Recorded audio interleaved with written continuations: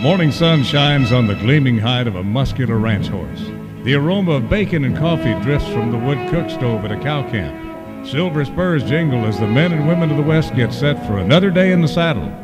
From the heart of Canada's finest ranching country, this is the Spirit of the West with rancher and horse trainer Hugh McLennan and his collection of music, poetry, and conversations with the folks who live and work with horses and cattle in the Spirit of the West. For those who have never seen a consummate top hand, a proud professional working cowboy on a well trained bridle horse, working cattle on the open range, the concept of cowboy work going beyond a profession to where it becomes an art might seem strange, but believe it or not, that's how it is in the West of 2016. Cowboy pride. You see it in the horsemanship, the gear, the savvy knowledge of cattle, and every man and woman in the profession conforms to the code but still expresses their own unique individual style.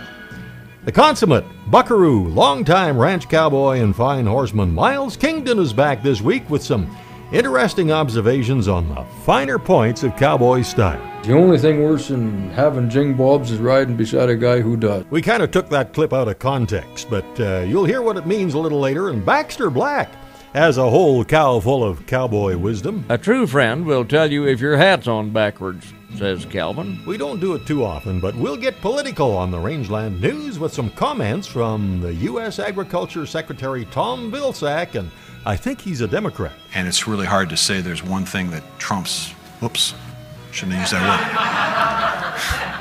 word. On the horse training file, a listener has a horse that trots like a pile driver. Is there anything she can do to smooth out the trot or even ride it more comfortably? I'll try and help. And I've got a great old classic, Song of the West, some information about the song, and then it's Waddie Mitchell in the Cowboy Poetry Spotlight and we'll get to the conversation with Miles Kingdon after Dave Stamey and a song that always makes me think of Miles. Sleep in a bedroll of canvas and Oseum's feed on your ears.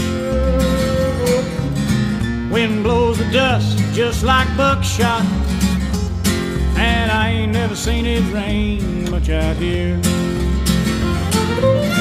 Smell your own sweat in the evening.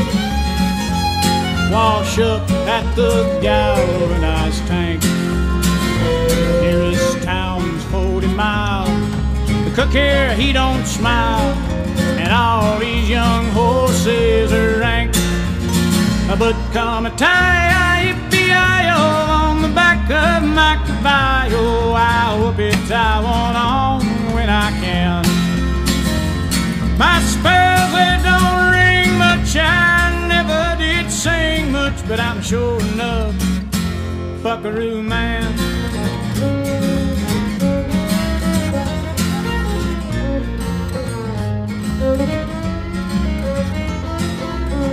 Cold fingers stiff in the morning. By noon, it's a hundred and three. Five year old slicks in the canyon, and never a hint of a breeze. Jug headed hollow back ponies provide all with hours of grief. There's snakes in the shade, choil on the grade, and a half a ton of grit between my teeth.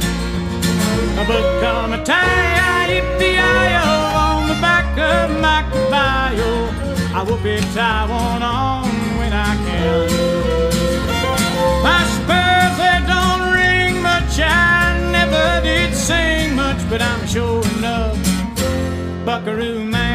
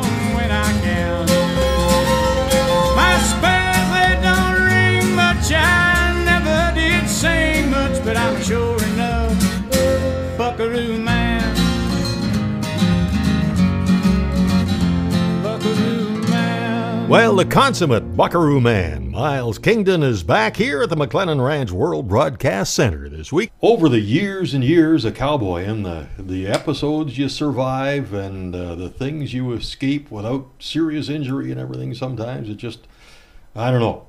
Somebody's got to be looking after us, I think. You know, and I just met an old fellow with. Uh, I went down and stayed with uh, my friend Bruce Sandifer and his wife, and uh, and he wanted to introduce me to his old friend Ray Ordway. He lives up about six hours north of Santa Barbara and inland, and he is an old Californio. One of the that Bruce knows, one of the last of the old California vaqueros that he knows of. And Ray and his pretty little wife Laverne, you know, he's they're both sharp as a tack. He's 92, and he showed me his spade bits and his nice riatas and his good three-quarter rig outfit and his dad's outfit and and um, it's interesting. Fellas like him that have rode all them years, men and women both, they'll say, if you think, and this was his words, if you think you're holding the strings, you can think again, because there's somebody else got the got the strings in their hand. Yeah. This whole uh, world of vaquero horsemanship Mm-hmm. and the Californios is something you've been pretty intimate with for a long, long time. And like I was telling you earlier, I've just kind of just beginning to discover and really appreciate some of this this bridle horse world. I mean, that's uh, and for a long time you didn't find a lot of that up in our part of the country, but now more and more you're seeing fellows riding with uh, reins and ramal and uh, spade bit and bosalito and horses straight up on the bridle, and it, it seems to be be getting a little more known up here now. Do you think? Oh, sure. Um, the more I see from the people in Alberta and Saskatchewan, them there's a, a big interest in the the bridled stock horse. You know, um, in those Calif really, and they are in a lot of those California traditions. There's some really good, handy people there, and some young people, boys and girls that are so handy. And if you can just give them a couple of tips here and there, they'd be so good so much sooner than I was. And Ray, it's a funny thing, old Ray said the same thing to Bruce and I. If you can just give some of them kids a tip, they're so handy and they're so their mind is so itchy to learn. And you know, we've come a long ways um, to that transition to that st- that kind of stockmanship, that style of horsemanship. And there's even the people who don't have a spade bit in their horse's mouth. There's a lot of handy people around. Well, Miles, uh, you'll be doing a number of bridle horse clinics this year, and we'll talk about that. And I've got another neat song about cowboy pride. When the Spirit of the West continues right after this. Welcome back to the Spirit of the West. Just great to have my good friend Miles Kingdon back at the ranch today. Longtime working cowboy, highly respected horseman, and I sure hope we get some horseback time together this season. Now, Miles, 10 years ago when you were riding out with 10, 15 cowboys behind you, heading out 3.30 in the morning, going to be riding, working cows all day, did you sort of visualize that at this point you'd be putting on uh, bridle horse clinics around the country like you've got planned for this summer? No, I didn't. But I will say that in the tail end of the 80s, I guess I was at Nicola Ranch then. I'd been, you know, at Douglas Lake and at Marquee Ranch up north and went back to Douglas Lake again and over to Nicola Ranch. And every time you change an outfit, you got to make your own string again. They'll cut you a string of horses that are broken, and you start building the rest yourself. And after you put in four years of trying hard with your mind to understand the best way to make this horse work, make him better, and and you get into trouble, and you look back over over the years, and you think to yourself, "I wished I wouldn't have done that with that horse." But you know, you and your horse came out okay at the end of it, and it's all it's all learning. And if and if you look at it like, "I gee, I wished I would have never done that," well, that's a kind of a bad note to quit on because you learned something from it. And your horse was adaptable because horses are far more adaptable than we are. If you like an animal, you'll always start off your next ride in a better spot again. And I always thought to myself, what, how neat that would be if I could teach somebody these things that they didn't have to go through as many lumps and bumps and hard rides and and um, um, reflection as I did. If I give them a couple of pointers and help them out, but I never thought you know I could make a living at it, and it looks like I might be able to. Mm. well, you've got uh, you got clinics scheduled. Where are some of the ones coming up uh, in the spring and summer of 2016? Oh, there's some scheduled for um, Coldstream Ranch by Vernon. Uh, it's a great place to do that. They got a nice arena. It's a great crowd of people there, and it's a nice setting. And there's cows to work. That's a big thing. I don't Yeah. have to buy a herd of cows to help. Mm, oh, And yeah. It's, it's nice to be able to apply that horsemanship, what you're learning, to a cow because all them things that whoever's been teaching you, whether it's Jonathan or or or Bruce or Peter or or Buck or whoever it is that you've been going to, they can teach you all they want, and they're but now when you apply it to a cow, then you start remembering the things they told you. Okay, and uh, we're going to clear up your comment about Jingle Bobs right after this great song. The words written by Bryn Thiessen and the music by Ben Crane that really gets to the heart of what cowboy pride is. It's the look of sunlight on silver with the smell of frost in the air and the sound of a tired horse blowing that keeps him riding out there. It's horses jingled by starlight the herd held up for the cut. The pride of those young cowboys riding. and the warmth of the sun coming up.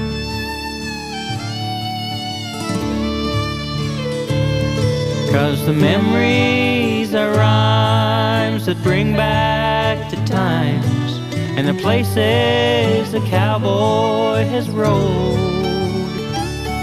They might hang in the wind, but they'll come back again and warm him when he grows old.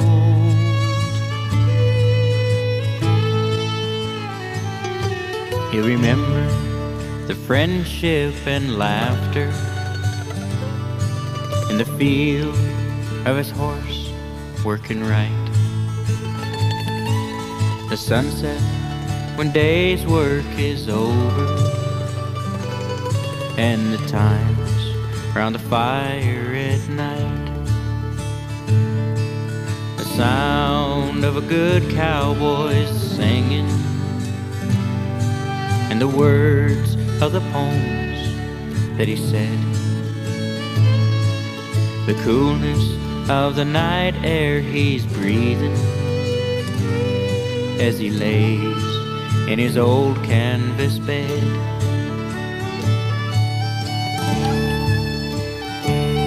But if memories are rhymes, then what of the times when upwards his soul will roam? He'll stand there amazed where the star herds now graze as he stares round his heavenly home.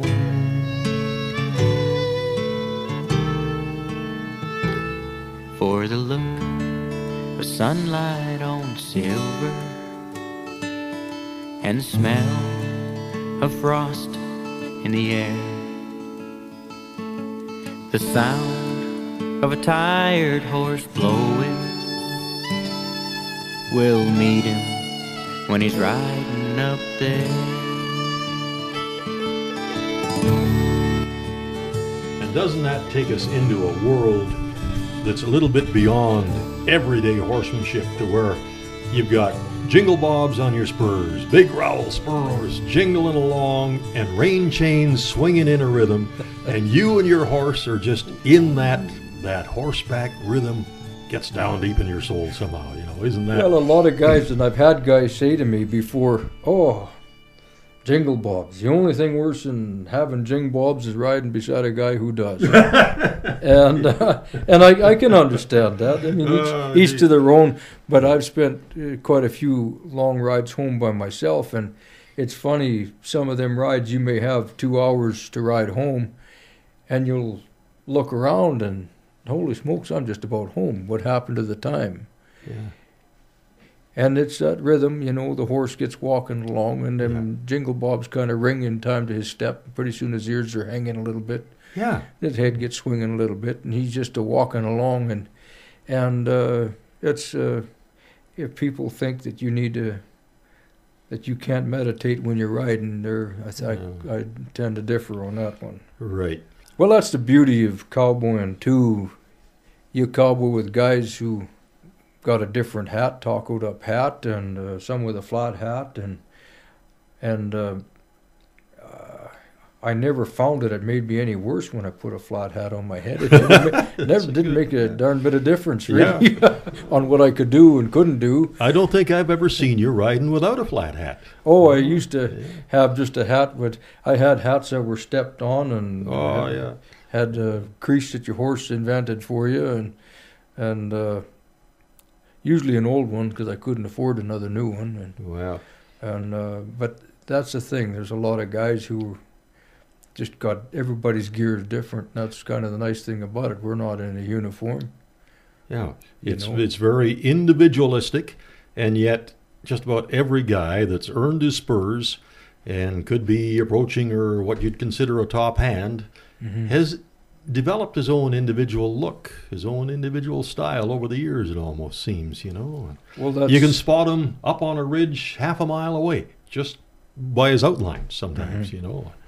Yeah, the way he uh, sits on his horse, and I know some guys that are top hands that uh, you're glad to have beside you when the wreck is on Yeah. because they're doing things. And and uh, but you know, I've always come back to my horse, and um, you have a couple rough rides once in a while in your life, and uh, it always comes back to a ride. And my life has sure been a ride, so I fancy it up a little bit. You know, I like Oh, my yeah. silver stuff, and I like to dress my horse up. Yeah. Call the dogs and put out the fire. This is Baxter Black on Monday, here to start the week with a little peek at marginal quotes. When you go to B&W Hitch Factory for a visit, you won't need a passport or a Chinese translator. Why? Because their hitches are made right here in the heart of America. Sometimes that gets lost in the whir of our global economy, but lots of American businesses have survived the recession without cheapening their products or outsourcing jobs.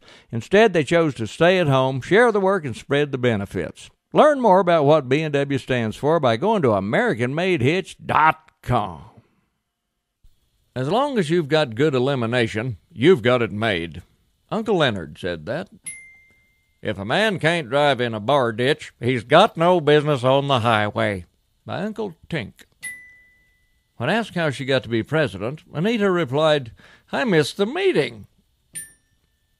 Tom Hall says, I enjoy all company, some when they arrive and some when they leave. A true friend will tell you if your hat's on backwards, says Calvin. I'd rather be at the head of the ditch with a shovel than at the bottom with a decree. Tom on irrigation rights. If they won't come, you can't stop 'em," said my old friend Jim B. He's stooping to new heights, said Sandy. His eyes are so squinty they could blindfold him with dental floss. That's my old friend Bucker. They teach chickens to lay eggs by walking back and forth in front of 'em with a hatchet humming, mmm, good, mmm, good. That's according to Doug. The right to be heard does not include the right to be taken seriously. By Hubert H. If you want to put out a fire, start your own. By Hoot.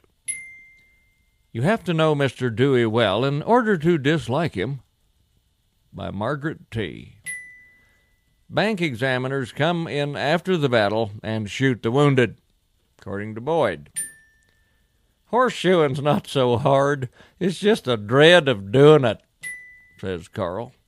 His sleeping bags smell like they drove geese into it and beat 'em to death, says my friend Ole K. It's been a month of Mondays, says Cheryl. Sometimes you have no choice, so take it. On fundraising, don't put all your hands in one pocket. Judy says if you're smart, you'll always believe in Santa Claus. And finally, John says, sure, you can sell out when things are good, but then what'll you do? This is Baxter Black on Spirit of the West with Hugh McLennan, brought to you by B&W Turnover Bowl. This is cowboy singer, songwriter, and poet Brenn Hill.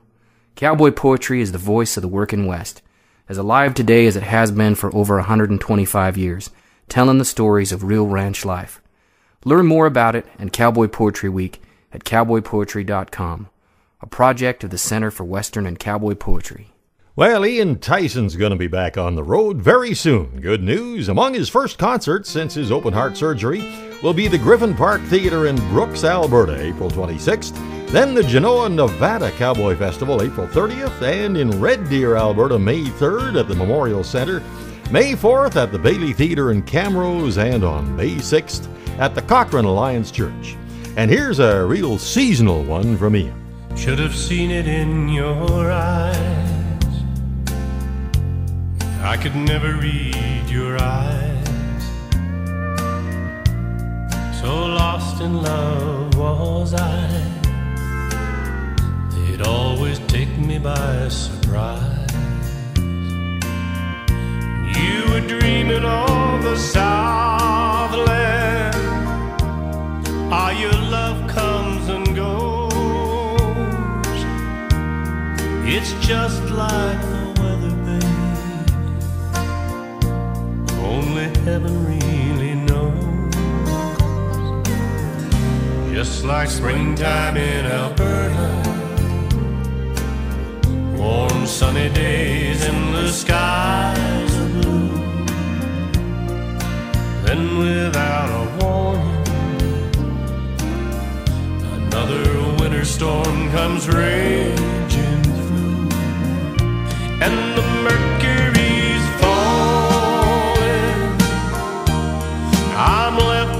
all alone.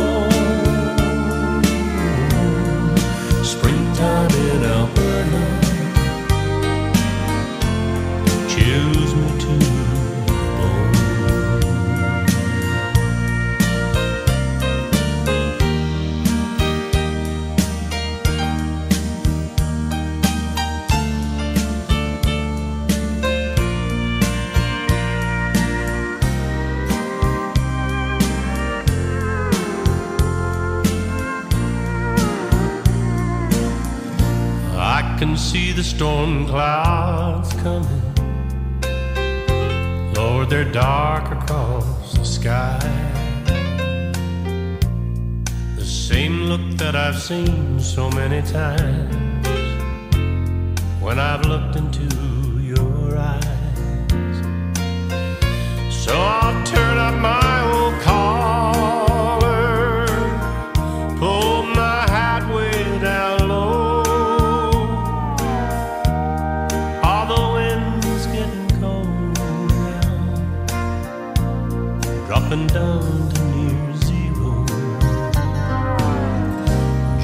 like springtime in Alberta, Warm sunny days, endless skies are blue. Then without a warning,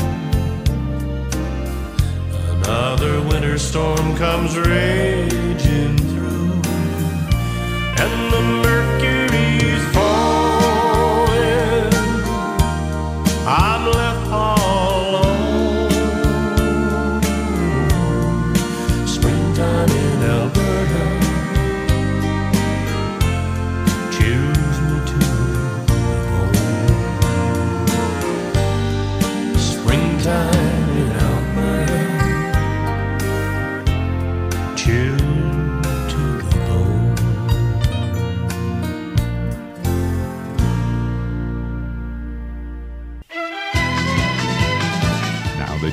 the the rangeland, a roundup of news and coming events from around the West.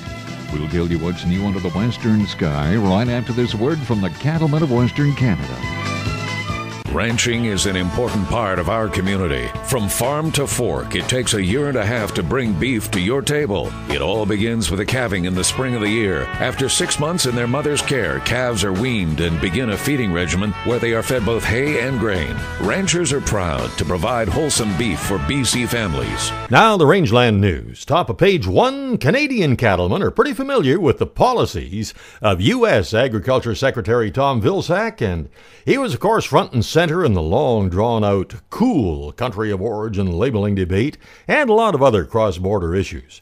As his term winds down, a reporter asked Vilsack what he thought his legacy might be. It's a hard question for me to answer because the, this department is a fabulous department. It is an amazing department, and it does so much. And it's really hard to say there's one thing that trumps, whoops, shouldn't have used that word, that overcomes. Maybe, maybe it's that uh, we've had the seven best years in trade, ag exports in the history of the country. No, I, I, look, legacies, you guys will decide what that is. I, I, just, uh, I'm, I'm, I'm proud of the work we've done. And I'm honored to have had this job. Farmers with oats to sell and end users willing to buy them are far apart on price. Major U.S. oats customers are well covered for the time being, with enough to last a few months' worth of milling, according to Ryan McKnight of Linear Grain in Carman, Manitoba. He added that higher pricing was available from time to time from Canadian millers, but buyers and sellers were generally far apart on price, with the futures trading below US $2 a bushel. That zero basis only works out to about $2.60 a bushel when the exchange rate is factored in. He said Manitoba farmers wanted at least $3 a bushel for oats. And he said quality issues with the northern Saskatchewan crop for another issue in the oats market, keeping some supplies out of the regular channels. Well, the big prime time cattle company and cutting edge sale in Williams Lake held back on March the 5th was a huge success with 57 bulls sold in 1 hour and 27 minutes and the high selling prime time tater 420 selling to 141 ranch for $6500. Second high seller went to Debbie and Ken Elnicki for 6200. Primetime HD Linear 417 Cutting Edge Cattle Company. High seller was Cutting Edge Eldorado 498B selling to the Chezacut Ranch for $5,900. Now here's a question for you. What country eats more beef per person than any other in the world? Well, it's not the U.S., and it's not Canada, it's not Britain. The answer is Argentina. But beef loving folks there do have a problem. Beef is now so expensive in Argentina that once was the third largest exporter that packing plants are about to start importing cattle from neighboring countries for the first time in almost two decades. Argentina's cattle industry, the third largest exporter a decade ago, was upended by the end of price controls and a devaluation of the peso under newly elected President Mauricio Macri. Well, Ace of Clubs quarter horses will again be providing the colts for this year's Trainers Challenge at the Red Deer main event, April 21st to 24th. This year, they'll all be mares, each one from a different sire, and they should be pretty. There's a Palomino, a Sorrel, a Blue Roan, and a Buckskin. And a tip of the old cowboy hat this week goes to Dr. Cecilia Rushkowski from Oyen, Alberta, this year's recipient of the Boehringer Ingelheim WCABP Veterinarian of the Year Award. She oper- operated the Oyen Veterinary Services Clinic since she graduated from vet school in 1984. You know, there's great reading in every issue of Alberta Beef Magazine, and you can subscribe online or by calling 403 250 1090. And Bonnie Wernicke has a great story looking back at the year in review for the cattle industry in the January issue. Just a quick reminder that there are regular cattle sales every Wednesday, pre sort sales on Monday, and horse sales twice a month at the Innisfail Auction Market. You can see all the details at InnisfailAuctionMarket.com. And that takes us down to the final item. Oh, oh, trouble in the country. This couple had been arguing for years, and the husband died mysteriously. After the investigation, she was charged with murder, poisoning his morning coffee. Now, in his cross examination at the trial, the Crown prosecutor said, Now, didn't you feel the slightest bit of pity for him, knowing he was about to die and he was probably totally unaware of it? And she said, Well, yes, I guess I did at one point. And when was that? The prosecutor said. And she replied, That was when he asked for a refill. And that's the rangeland news. Coming up on the horse training file, how to smooth out a rough trot and make it more comfortable for the horse and the rider. And then more from my guest Miles Kingdon when the Spirit of the West continues right after this. Welcome back to the Spirit of the West. This is a pretty nice horse, but man, he trots like a pile driver. Well, that's not comfortable, but I'll offer a few suggestions to make it easier on the rider and the horse on this week's horse training file coming right up. First, though, for those of you who've been asking about the next Spirit of the West cruise, I'm happy to tell you that it will take place in June of 2017, and the whole gang will be going way up north to Alaska, way up north to Alaska, north to Alaska, we're going north for Russia's home. North to Alaska, we're north for Russia's home. That's right. My wife Billy and I will be hosting a great group of Spirit of the Westers aboard the beautiful Holland America ship, the Noordam. And we'll sail out of the spectacular Vancouver Harbor, visiting Ketchikan, Juneau, Skagway, Glacier Bay, and then we'll have two spectacular days of sightseeing in Denali National Park. Then we'll board the magnificent McKinley Railroad with their sightseeing dome cars and hopefully have a good look at North America's highest peak, Mount McKinley. And then it's on to Anchorage. We'll have our Western music concerts, sing alongs, great food, and it's a trip that's been on the bucket list of a lot of folks for a long time. And this is important. You can save over $200 a person if you book before the 1st of May 2016 this year. Hey, that's a $400 savings per couple.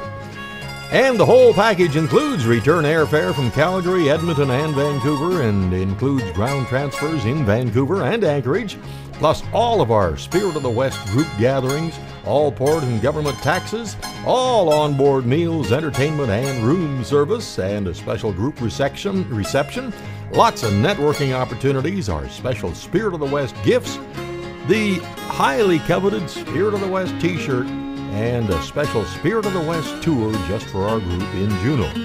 Now, here's something else. If you like traveling by rail, we have an optional Rocky Mountaineer rail package travel from Calgary to Vancouver, available on request. Our entire schedule with prices and everything else is available on the cruise page at our website, hugh-mclennan.com. And you can get all the information at this toll free number, 1 800 530 0131.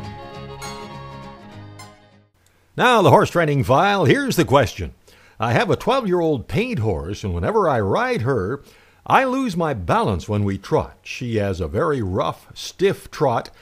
I barely lope her because we go through a war to go faster than a trot. I can't relax my seat because of her gait. Would it help if I rode her a lot every day? I use a hackamore and a western saddle. I do some cow work, trail work, and just ride around the pasture. Well, here's a quote from my old pal Waddie Mitchell, who you will hear on this week's Cowboy Poetry Spotlight, by the way. Posting at the trot. is the most comfortable way for the horse and the rider to cover a lot of miles. Now, trotting is the gait that horses use more than any other when uh, they're turned out in a herd situation in big areas. If they're moving from place to place, most of the time they do it at a trot. And I remember years ago there was a kind of a perception that cowboys didn't post. And some horses have a trot so smooth that you can sit it, but most horses don't. About 90% of the time, when I'm riding at a trot, I'll post the trot, and we do trot a lot of miles. It's good for several reasons. More comfortable for you and the horse, and by understanding the diagonal your horse is trotting on, you can help him stay balanced and help set him up for correct lead departures. His left front and his right hind leave the ground at the same time. And if you rise in your stirrups, as his right hind and left front go forward, you're on the correct diagonal to be riding a big circle in that direction. And of course, it's the opposite for the opposite direction. It takes practice to recognize the diagonal and rise and drop in time with it, but it's an excellent exercise for the rider, and it really does make you a better horseman. And that's the horse training file. Something we're pretty convinced makes our horses better is that daily feeding of Hoffman's Horse Ration and you can find out more about it at hoffmanshorseration.com. That's the horse training file. These horses are headed to the third annual Top Gun Horse Sale, the largest selection of broke horses offered for sale in Western Canada.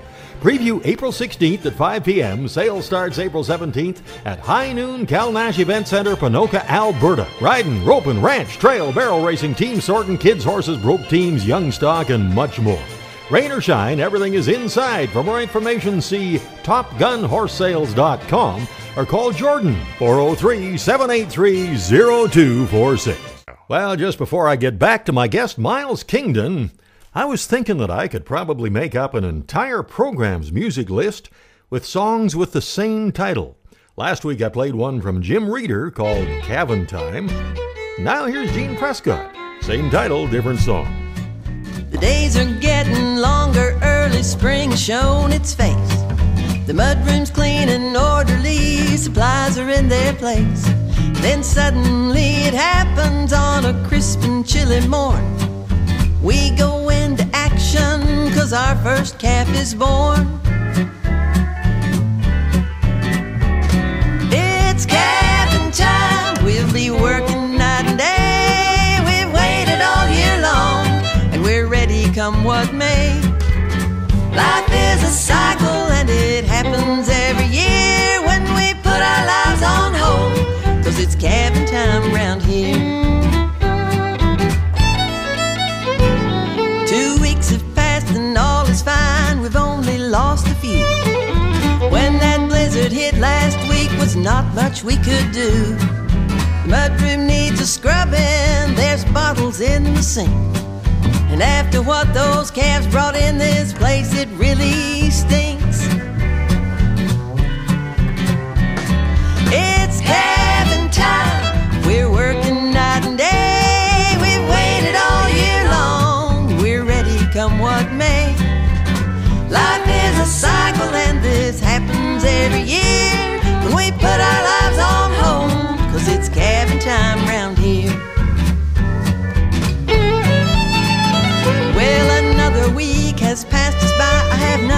To report.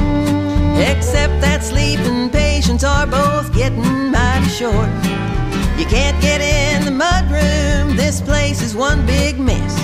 Why anyone would live like this is anybody's guess.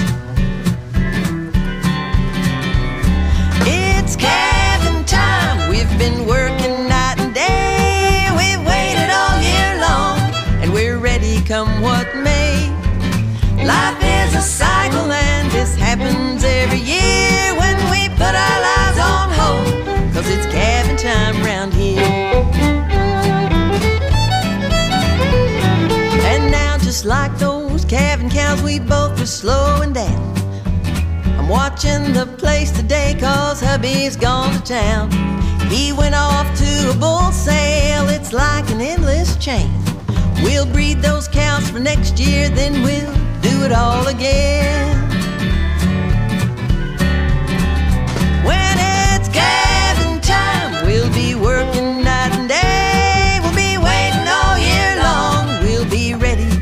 what may. Life is a cycle, and this happens every year when we put our lives on hold. Cause it's cabin time round here. We'll put our lives on hold, cause it's cabin time round here. Now that hits pretty close to home, and Jean and Gary are seeing some great black calves hitting the ground at their place in over near Ovalo, Texas, as we speak. And they're even posting pictures of some of them on Facebook. You know, about the only thing better than spending several hours visiting with Miles Kingdon is spending time riding with him. An encyclopedia of cowboy knowledge, and Miles, it's really interesting observing the various styles, trappings, and characteristics of today's working cowboys. And a lot of guys too, you know, uh, a lot of the guys that cowboys when we when we were younger, uh, there was a thing about girls cowboying. Oh, that's all they can do is brush their horse nice. you know something? Uh, my wife, when it come time to cutting the breeze and busting through the brush and bringing a cow, some old dry cow with a number nine in her tail, back to the herd again, she didn't mess around. It came back. Oh, And yeah. She could read cows good too. And, and uh, actually, she's one of the best people I've ever had working the corner for me in a sorting pen. You know, my daughters cowboyed with me a lot too when they were little, and I just see so many. I'm glad to see girls getting to do this stuff more and more because the big outfits as they were, there just was only one bullpen, and you can't have Yeah. mi- mixing the girls in there, and it was tough, you know. Um, me and my wife, she cowboyed on them out on the outfit with me, and I see so many kids today that there's a lot of girls they they're in it for the love of the critter. Yeah. And they want to be with that horse, and they want to do better with their horse, and they want a job for their horse, which is punching cows someplace, and uh, it's nice to see because everybody didn't ever get that chance. Yeah. There's a lot of kids that want to do that. Yeah, and that's so nice to see. I, I know Billy and I have uh, we've ridden a lot of unforgettable trails together over the years, and a lot of time was just the two of us. And Billy, like so many women, has has a great understanding of cow psychology Mhm. and cow sense and anticipation, and she can read a cow's mind way better than I can. And I remember one of the quotes that she said to me that has always stuck with me, and it was a tough job the two of us were having to try and do, and I wasn't doing too well. And finally, she called me over and she said, Look, if you'd stop thinking like a cowboy and start thinking like a cow, we'll get these cows up the hill where they're supposed to go. and she was absolutely right. Yeah, that's it. You know, yeah. Well, you know, uh, we've just touched the surface of your collection of real life adventures, Miles, and I hope you can make it back here again real soon. And in the meantime, our classic Song of the West and the Cowboy Poetry Spotlight still to come when the Spirit of the West continues right after this.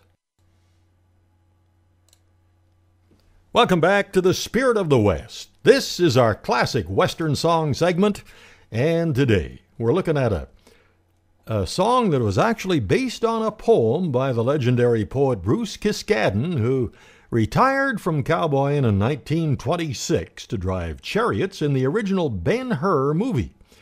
And he hung out around Los Angeles, turned his cowboy hat and boots in for a bellhop's monkey suit, and he spent the next couple of days toting bags and running an elevator in a Hollywood hotel. And in the words of Hal Ca- Cannon, commenting on Kiskaddon's life, he said, There's no darker place than the edge of the spotlight.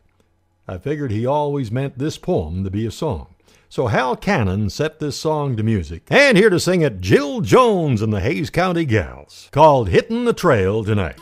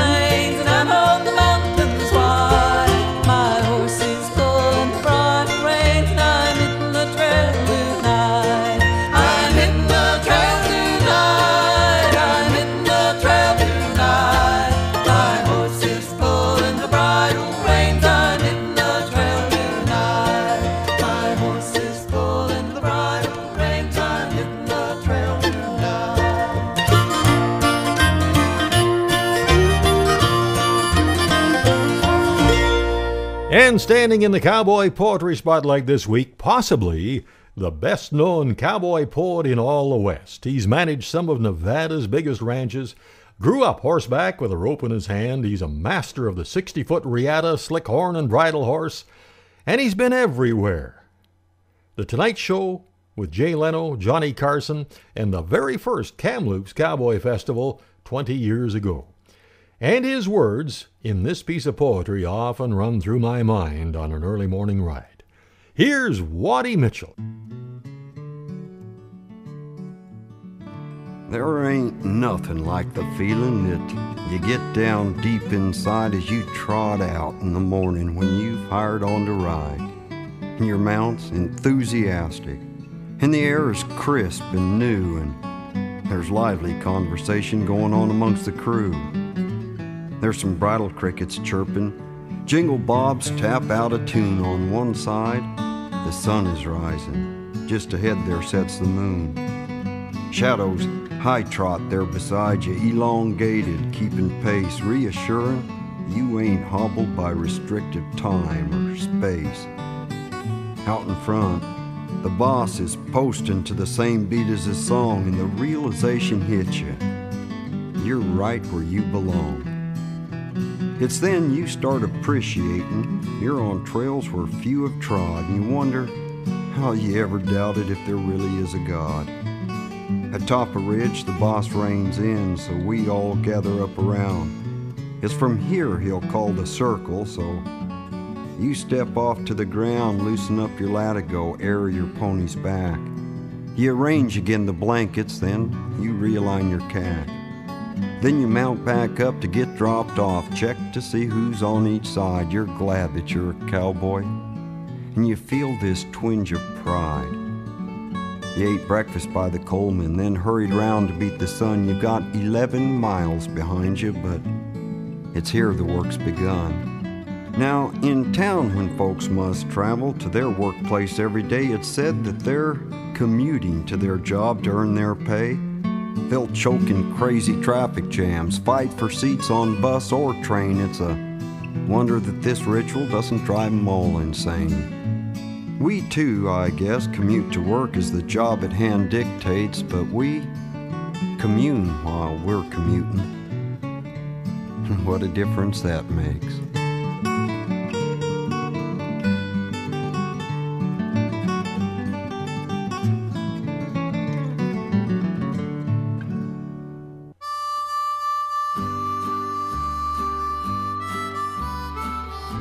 Well, thank you so much for making the ride this week, and I sure hope you can join us right here next week at the same time. And thanks again to our great support crew, Mark and Kathy McMillan. You can find out all about their great place, Meadow Springs Guest Ranch, by logging on to meadowsprings.com. And be sure and check out the latest issue of Canadian Cowboy Country Magazine. It's at your newsstands, or you can subscribe online at cowboycountrymagazine.com, just call 1 800 943 7336. And if you get a chance, check out our website at hugh-mclennan.com where you can listen to past shows on our archives page. Find lots of good stuff on our merchandise page, including CDs of past programs, DVDs, and much more. Till next week, I'm Hugh McLennan. Hope to see you down the trail somewhere real soon.